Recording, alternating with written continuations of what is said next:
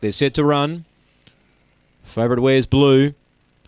Ready. Racing. Began okay. Long Galileo then got tangled up. Now Banjo Queen shot to the lead. Long Galileo through to second, a length and a half away. Third son of Helga out wide going forward. Abalor uh, in that group. Fabriental. Then came Kwame Bale, Eddie Finneran, wide out Mickey the Finn. Leader is Banjo Queen looking good. Three and a half on Long Galileo. And it's a double for Tracy Price. And Banjo Queen wins easily. Long Galileo second. Look at Abalor screaming home to get third. Fourth Fabriental. Then came Eddie Finneran.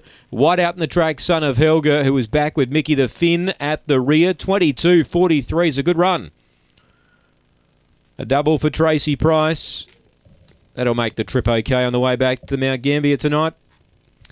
Too good. Banjo Queen, four second. Long Galileo just uh, began okay and then got a little bit tangled up there down the back and cost himself the lead. And number six, third, Abalor's come rushing home to get third.